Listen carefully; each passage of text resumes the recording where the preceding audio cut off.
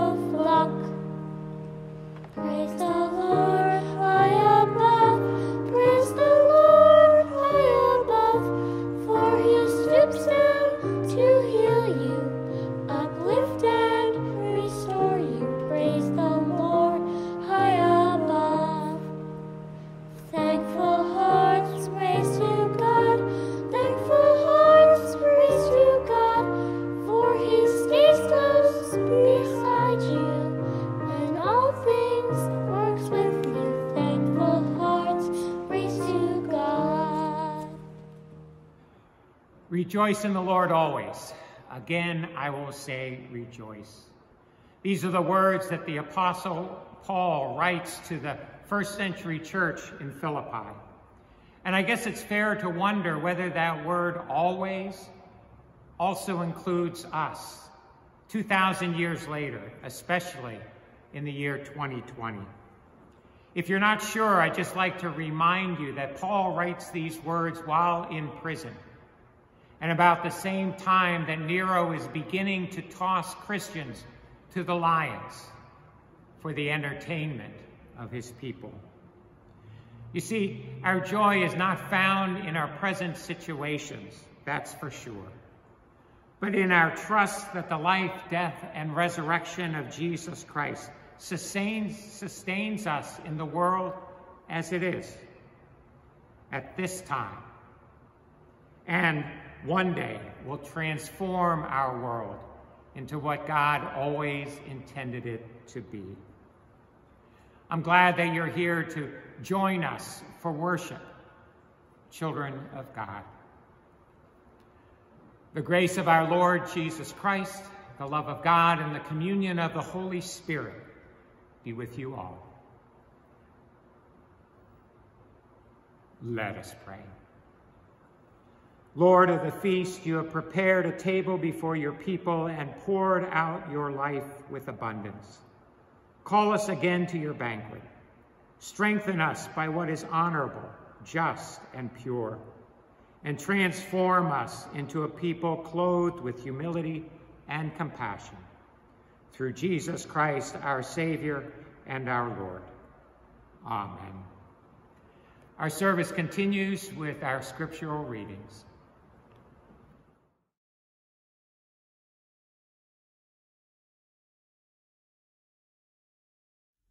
A reading from the book of Isaiah, the 25th chapter. O Lord, you are my God. I will exalt you. I will praise your name. For you have done wonderful things, plans formed of old, faithful and sure. For you have made the city a heap, the fortified city a ruin. The palace of aliens is a city no more. It will never be rebuilt. Therefore, strong peoples will glorify you. Cities of ruthless nations will fear you. For you have been a refuge to the poor, a refuge to the needy in their distress, a shelter from the rainstorm and a shade from the heat. When the blast of the ruthless was like a winter rainstorm, the noise of aliens like heat in a dry place, you subdued the heat with the shade of clouds. The song of the ruthless was stilled. On this mountain the Lord of hosts will make you all peoples a feast of rich food, a feast of well-matured wines, a rich food filled with marrow, of well matured wines strained clear. And he will destroy on this mountain the shroud that is cast over all peoples, the sheet that is spread over all nations. He will swallow up death forever. The Lord God will wipe away the tears from all faces, and the disgrace of his people he will take away from all the earth. For the Lord has spoken. It will be said on that day, Lord, this is our God. We have waited from him so that he might save us. This is the Lord for whom we have waited. Let us be glad and rejoice in his salvation. The word of the Lord. Thanks be to God. A reading from Paul's letter to the Philippians, the fourth chapter. Therefore, my brothers and sisters, whom I love and long for, my joy and my crown, stand firm in the Lord in this way, my beloved. I urge Euodia and I urge Syntyche to be of the same mind in the Lord. Yes, I also ask you, my loyal companion, help these women, for they have struggled besides me in the work of the gospel, together with Clement and the rest of my co workers. Those names are in the book of life. Rejoice in the Lord always, and again I say, rejoice. Let your gentleness be known to everyone. The Lord is near.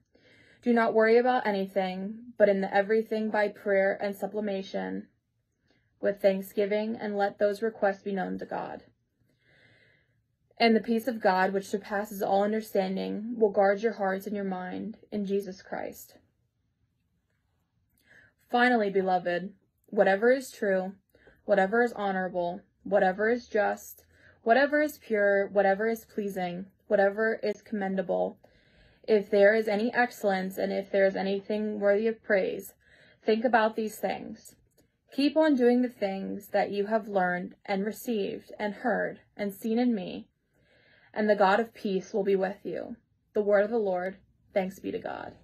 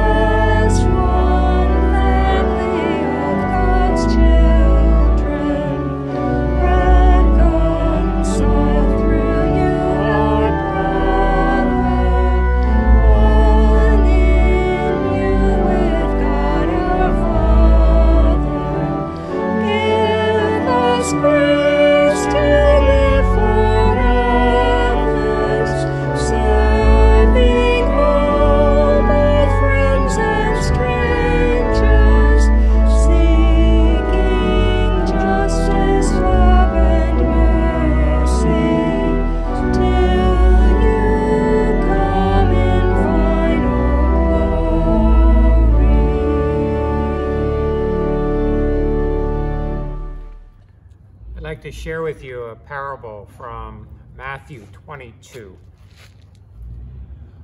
Once more, Jesus spoke to them in parables, saying, The kingdom of heaven may be compared to a king who gave a wedding banquet for his son. He sent his slaves to call those who had been invited to the wedding banquet, but they did not come. Again, he sent other slaves, saying, Those who have been invited, look, I have prepared my dinner. My oxen and my fatted calf have been slaughtered, and everything is ready.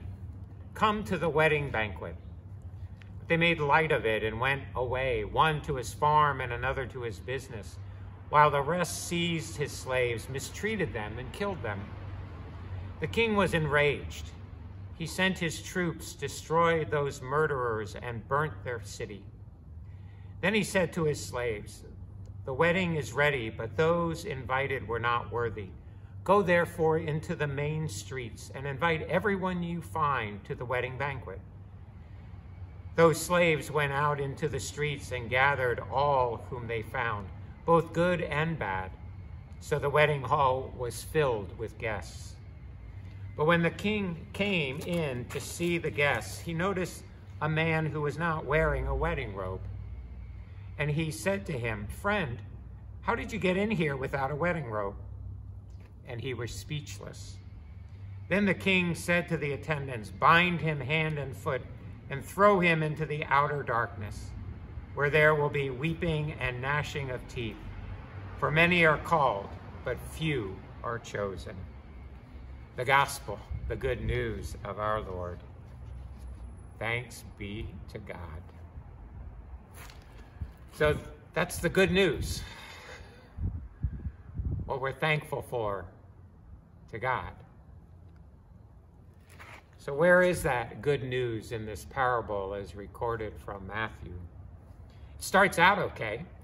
We have a king throwing a royal banquet with all the usual people invited um, the prestigious business people and community leaders, the royal court, um, the royal court of the person marrying um, the prince, uh, all those who had influence and power within the kingdom, I'm sure, were invited. But this is where things get a little weird.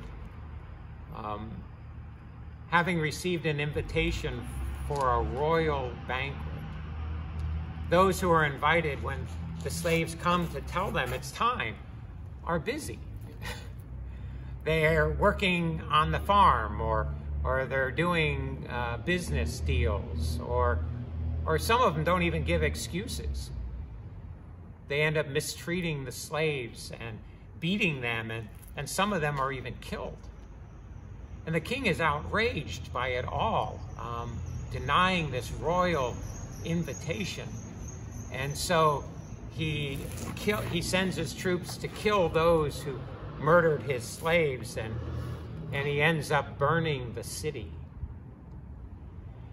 And then he calls his remainder of the slaves together and says, We have this festival all set. We need to have the hall filled. So go out into the main streets and get whoever you can, good and bad and let us celebrate. Let us celebrate.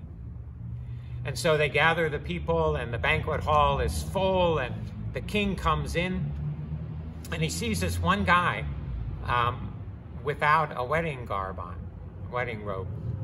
And so he calls him over and says, Friend, how did you get in here without a wedding robe? And he didn't answer him. And, and so he was bound hand and foot and tossed out into the utter darkness.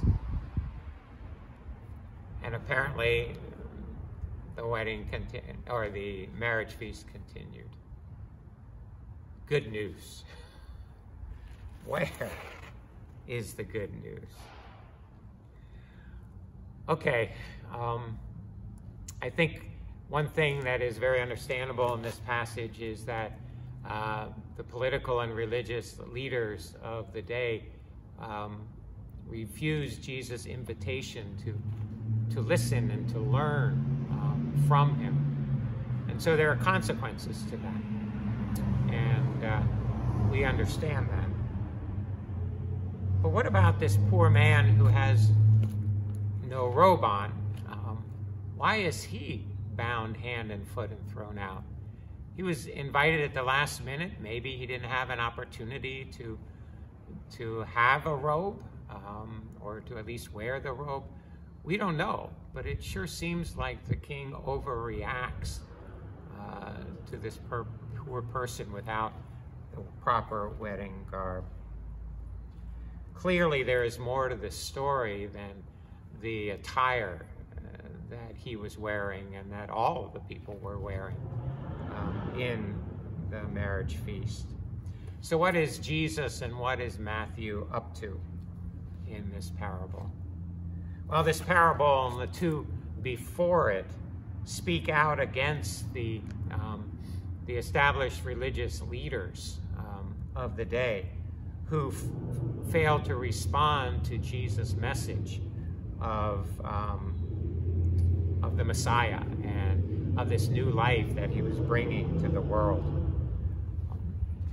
There was conflict going on at that particular time, and so it isn't surprising that Matthew takes this parable and, and uh, highlights that part of, of what's going on. But he also adds this section um, at the end about this man who is tossed out of the, the feast that the Gospel of Luke in his parable does not include.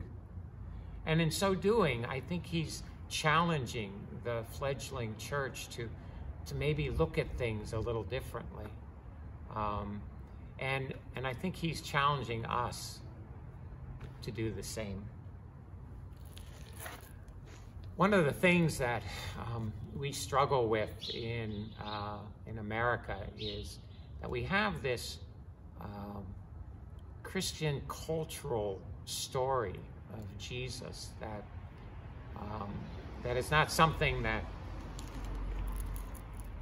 that has the depth or, or the understanding of what Jesus came to do and to be as the Messiah.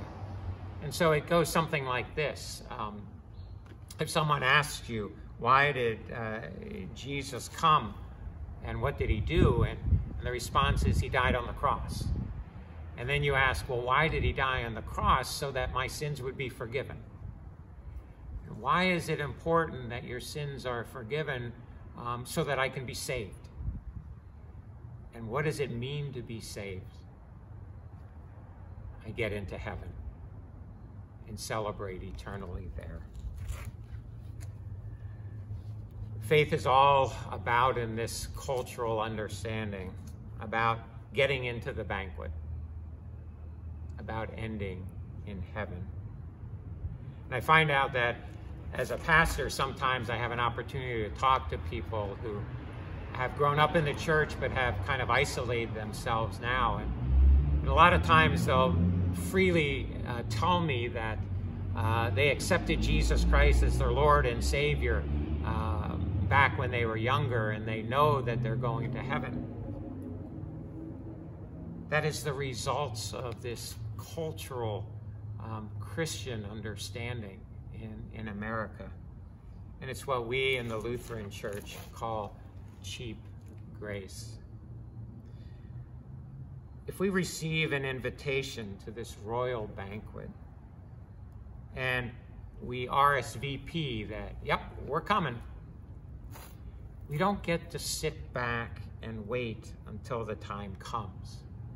When Christ calls us home as an individual or, or when Christ comes and returns and brings the kingdom of God down here on earth. We're not just like um, once you receive Jesus Christ, you go to this waiting room that is our lives until we start this salvation, this new life in heaven. If you listen to Jesus Christ, if you listen to Paul, if you listen to even the Old Testament prophets, you discover that um, God's action within our lives is not somehow to sweep us one day up into heaven, but so that we can live differently here and now. so that we can follow in the footsteps of Jesus Christ in this radical new way of living that changes us and our lives and ultimately changes the world that is around us. We discover that Jesus says we're the salt of the earth. We are a light in the midst of the darkness. We are to follow in the footsteps of Jesus Christ from the day that we come to faith to the day that we go to the kingdom. Paul puts it this way in our lesson. He says, Rejoice in the Lord always. Again, I will say rejoice. And he's writing these words when he's sitting in prison, not knowing what his future here on earth will be. And he's writing to this faithful congregation who is just beginning to get the effects of um, Nero's persecution of the church, which ultimately will lead probably some of them to be thrown to the lions for the entertainment of the emperor.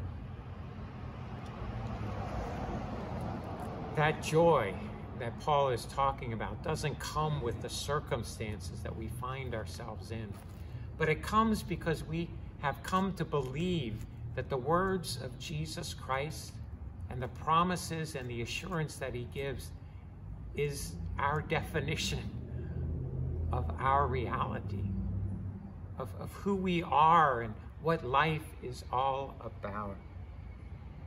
And that allows us to find a sense of joy and peace and hope, even in the midst of the world as we experience it today. What does Jesus say at the end of the Gospel of John? He says, I have came that you might have life and might have it abundantly. And that life doesn't begin when we die and go to heaven or, or when the kingdom of God comes down here on earth. That kingdom that abundant life begins as we hear these words of Jesus Christ and we believe them to be true and we begin to act upon them. To see in them a whole new way of life, different from the way of the life of this world. We are invited to this banquet and challenged to follow in the footsteps of Jesus Christ each and every day of our lives. It turns out that, that we are called as Christians not from believing that we are invited because we follow Christ, but believing that in following Christ we experience life in a whole new way here and now. And that, that's the good news. The good news is that salvation begins now as we begin to reorientate our lives to the coming kingdom of God. And that indeed puts us in a place where we begin to see that kingdom break into our world, even as we speak. And so as we look at this parable and as we wonder what this ending means, maybe we discover that it does matter what we wear, not in that parable, but in our lives as followers of Jesus Christ. We are called not to wear complacency, to conform to the ways of this world or any kind of garb that somehow shows that we are content with the way this world is. Now, we are called to wear a sense of faith and hope found in Jesus Christ, in words that come to us not from a great teacher, but from God Himself. I'd like to read to you Paul's description of what we should clothe ourselves in, found in Colossians 3. As God's chosen one, holy and beloved, Clothe yourself with compassion, kindness, humility, meekness, and patience. Bear with one another, and if anyone has a complaint against another, forgive each other, just as the Lord has forgiven you. So you also must forgive. Above all, clothe yourself with love, which binds everything together in perfect harmony. And let the peace of Christ rule in our hearts, to which indeed we are called in the one body, and be thankful. Let the words of Christ dwell in you richly. Teach and admonish one another in all wisdom, and with gratitude in your hearts, sing psalms, hymns, and spiritual songs to God. And whatever you do, in word or in deed, do everything in the name of the Lord Jesus, giving thanks to God the Father through him. The good news is that with this invitation to the banquet comes an invitation to live differently here and now, to be a part of what God is up to, and to know what will last and what will not last as we transform into eternity, into life with God. And so, the good news is found in this invitation of Jesus Christ, not to wait until we are saved, but to realize that Christ died and rose again so that we might live new here and now, and might indeed be the light of Christ shining within our world together as brothers and sisters in Christ. We share together our faith through the words of the Apostles' Creed. I believe in God, the Father Almighty, creator of heaven and earth. I believe in Jesus Christ, God's only Son, our Lord, who was conceived by the Holy Spirit, born of the Virgin Mary, suffered under Pontius Pilate, was crucified, died, and was buried. He descended to the dead. On the third day he rose again. He ascended into heaven. He is seated at the right hand of the Father, and he will come to judge the living and the dead. I believe in the Holy Spirit, the holy Catholic Church, the communion of saints, the forgiveness of sins, the resurrection of the body, and the life everlasting. Amen. The peace of the Lord be with you. Share that peace with our world. Amen.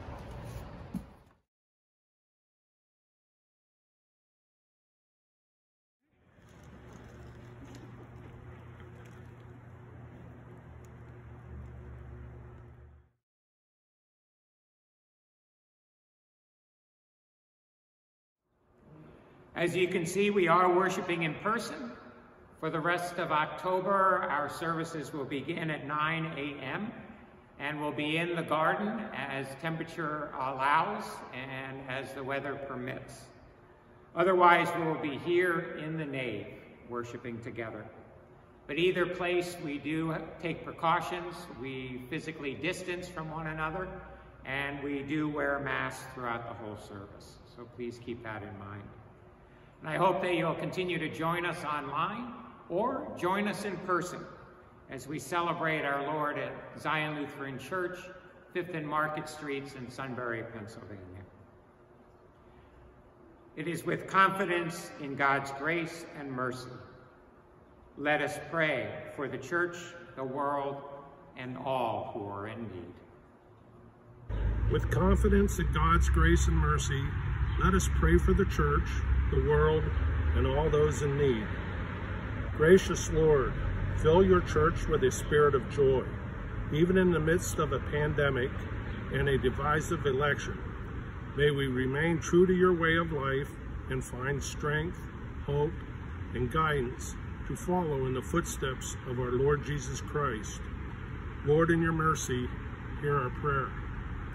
Gracious God, as creation waits with eager longing for redemption, protect your creatures that are mistreated Restore valleys, mountains, and pastures, both still and running waters, Be with those affected by fires out west and flooding in the south.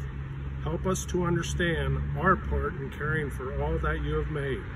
Lord, in your mercy, hear our prayer. Gracious host, as you set a table in the presence of enemies, so bless the efforts of diplomats, international peace workers, and world leaders who navigate conflict. May they proceed with dialogue and understanding so that justice and peace prevails. Lord, in your mercy, hear our prayer. Comforting Lord, let your gentleness be known among those who are weary or ill, especially Ryan, Coy, Shirley, Joe, Matthew, Riley, Jack, Toby, Vern, Janessa, Sandy, Jake, and Ashley. Be with all who are infected by the coronavirus. Strengthen doctors, medical care workers, and caregivers who see to their needs. Lord, in your mercy, hear our prayer. Gracious provider, when we are quick to judge outward appearance, remind us how you clothe us all in your mercy. Be with those to whom the world is slow in extending your grace and love. We pray for ministries that provide needed clothing and personal care items to those within our community and those who seek justice for all who are oppressed. Lord, in your mercy, hear our prayer. Giver of life, as we remember those who have died and are gathered at the heavenly banquet, comfort us with your presence. Assure us of your peace at all times. Lord, in your mercy, hear our prayer. Listen as we call to you, O God and enfold us in your loving arms, all for whom we pray. In the name of Jesus Christ, our Lord. Amen. Together we pray the prayer that our Lord has taught us. Our Father, who art in heaven, hallowed be thy name. Thy kingdom come, thy will be done, on earth as it is in heaven. Give us this day our daily bread, and forgive us our trespasses, as we forgive those who trespass against us. And lead us not into temptation, but deliver us from evil. For thine is the kingdom, and the power, and the glory, forever and ever. Amen. With all of this craziness going on around us, don't get caught up in it all, but put on Christ in the midst of the darkness. I'd like to share with you um, a reading from Colossians 3, where we hear what that means. As God's chosen ones, holy and beloved, clothe yourself with compassion, kindness, humility, meekness, and patience. Bear with one another, and if anyone has a complaint against another, forgive each other, just as the Lord has forgiven you. So you also must forgive. Above all, clothe yourself with love, which binds everything together in perfect harmony.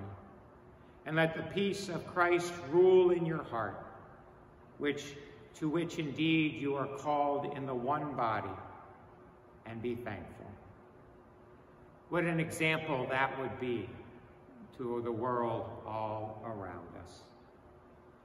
And so please be well be faithful in living out Christ's love.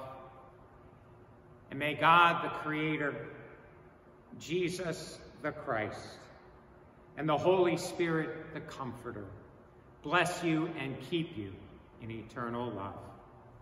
Amen. Go in peace.